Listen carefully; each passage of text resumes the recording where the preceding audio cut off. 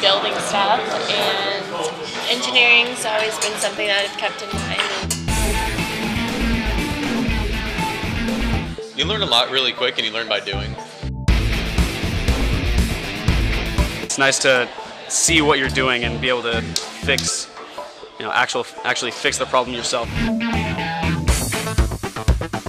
Dad's a businessman and my mom was a flight attendant. All the people are very nice and you actually know your classmates here.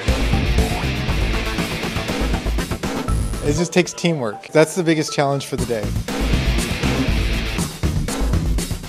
robots may have emerged from mankind's fascination with their own existence. The puppets of yesteryear have become mechanized entertainers today. From car manufacturing to food packaging, robots today continue to do the job faster than man, and rapid progress in technology has resulted in their growing use. Today's advanced robots can cook your pancakes to order.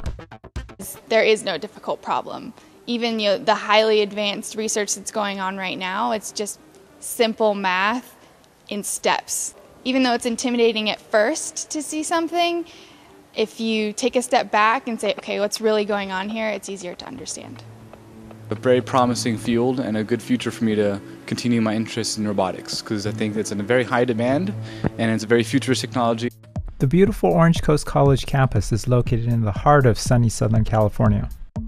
Our robotics students have a fully stocked lab to work with recently winning the local VEX competition. The enthusiastic students here are at the top of their game. The robotics class starts with the basics of statics. But even with this knowledge alone, you can build successful money-making games today. I finished the program out in 2008 with the entry-level certificate, and then I applied that to a job. I would say uh, about 85 right now. I'm making just about that right now. Really helpful, and it was really important to me and my career. So the starting pay is 67000 a year. The uh, cap is over six figures. Where will the future of robotics lie? Will it be robots that carry us from place to place? Or robotic cars that drive themselves? Today, children can buy inexpensive robots that can seemingly do everything, except their homework. Or Will the future of mankind be dictated by the few, those in charge of the military? Will there be a future where animals will dominate mankind?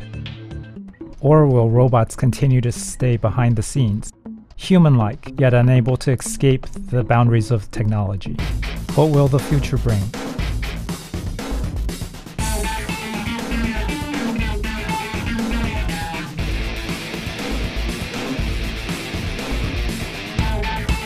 Join Orange Coast College Robotics today and create new robots that surprise, entice, and help mankind